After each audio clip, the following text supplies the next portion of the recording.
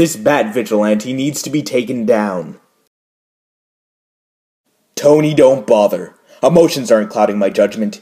He has the power to wipe out the Avengers, and if we believe there's even a 1% chance of him being our enemy, it must be taken as an absolute certainty.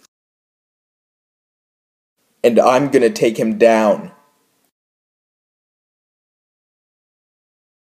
Hello, Bruce. As you could probably tell, I orchestrated this crime to lure you out.